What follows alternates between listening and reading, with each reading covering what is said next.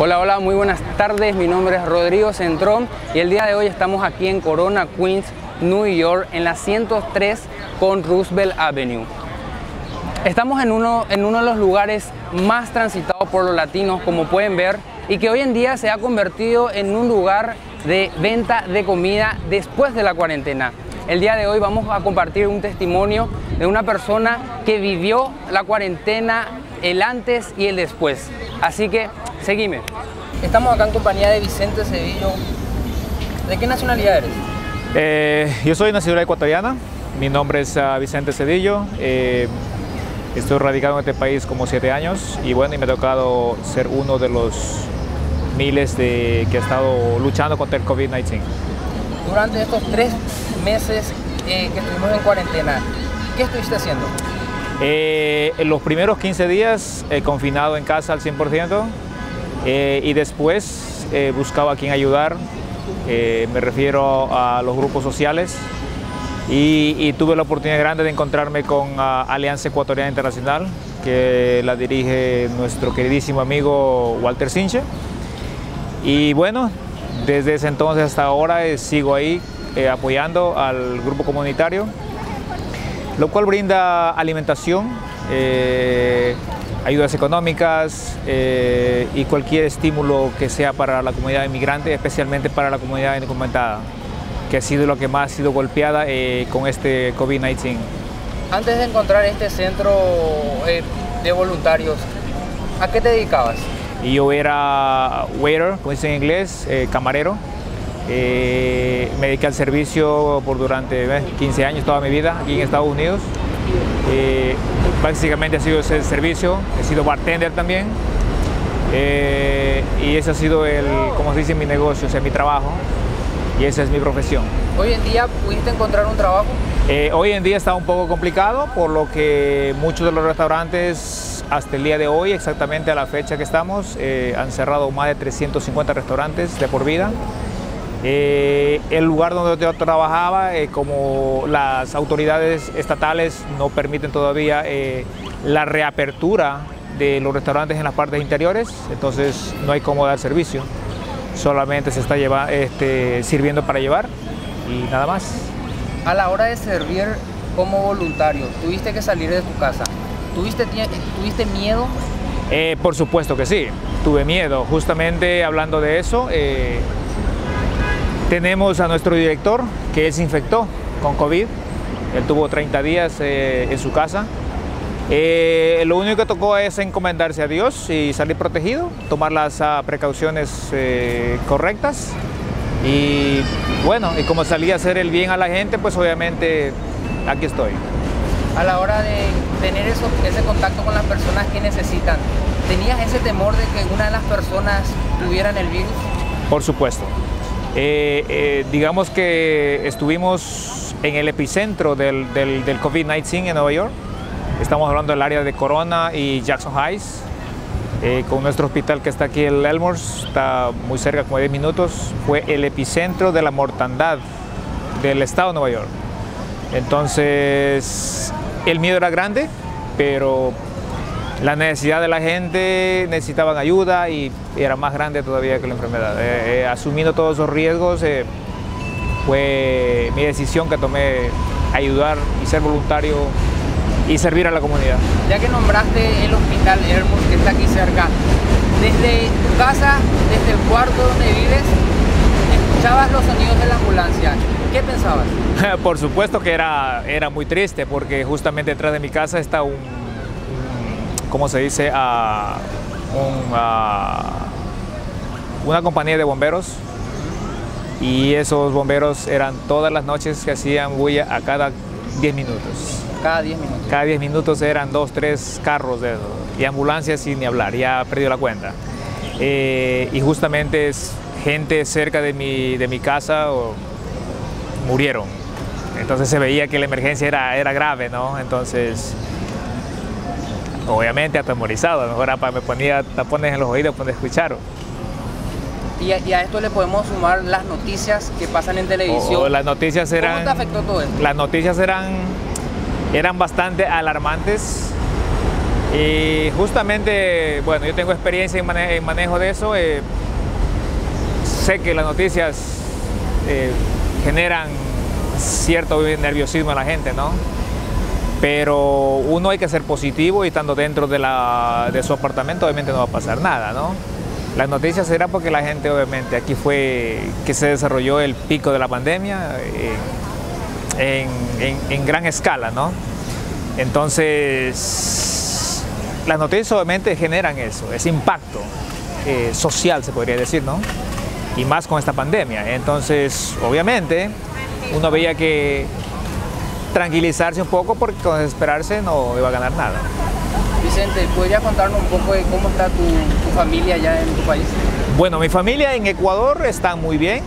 Eh, hasta el momento en mi familia no hay ningún infectado, eh, a pesar que las, uh, las uh, eh, los del sistema de salud en Ecuador no es como aquí, está colapsado allá, pero a pesar de eso mi familia no, no están contagiados, uh, ninguno que yo sepa. ¿Perdiste algún amigo, algún vecino? Bueno, ahí, va la parte más ah, triste y dolorosa, donde he perdido muchos amigos, conocidos, eh, tanto aquí en Nueva York, donde me radico, y tanto de mi país natal como es Ecuador. Eh, he perdido muchísimos, muchísimos amigos. Eh, voy a dar un número más o menos que va a ser un poco, va a parecer exagerado, pero no es, es la verdad. Estamos hablando con por lo menos 250, 300 personas que las que conozco de cerca y unos que medio de lejos puede pasar más entre Nueva York y Ecuador. Ese sábado 21 de marzo del 2020, cuando Donald Trump estaba dando a conocer, ¿verdad?, que sería cerrar todo tipo de negocio. ¿Qué te causó? Bueno, eh, para ese sábado yo ya estaba en casa porque nosotros el 16 de marzo cerramos ya. Habíamos cerrado cuatro días antes el restaurante, donde lo cual ya se cerró totalmente. Y bueno, yo como era, eh, soy como clase como manager ahí, entonces fue algo triste porque despedir a toda la gente, y decirles que vamos a cerrar y no sabemos cuándo volvemos a abrir, eso causa bastante angustia y zozobra, ¿no? Y, miedo también de la gente, bueno, ¿y ahora qué voy a hacer? ¿De qué voy a vivir, no? Porque a quedarse desempleado no es fácil. Eh, el 21 pues obviamente estaba en mi casa, viendo televisión, viendo cómo, cómo empezaban a aumentar los muertos y los primeros días fue triste, muchas lágrimas, eh, mucho pensar, mucho estrés, pero después uno se fue ya acoplando. En este tiempo de tres meses de, encierro prácticamente, vamos a decir, ¿qué habilidad pudiste aprender?